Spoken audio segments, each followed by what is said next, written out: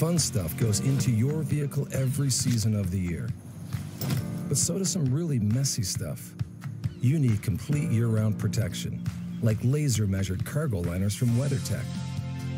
Or the BumpStep to protect your bumper. Add laser measured floor liners to keep the carpet looking new.